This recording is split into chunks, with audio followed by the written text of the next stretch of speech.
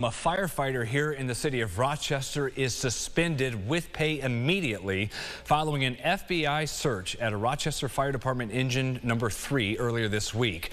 According to the FBI, that search happened Tuesday. We have reached out to RFD for comment and have yet to hear back. We'll keep you updated on that breaking story. Again, a Rochester firefighter suspended after an FBI search of a fire engine earlier this week. Updates at rochesterfirst.com.